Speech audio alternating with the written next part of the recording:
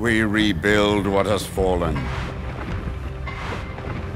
We take the wreckage of war and craft a new home.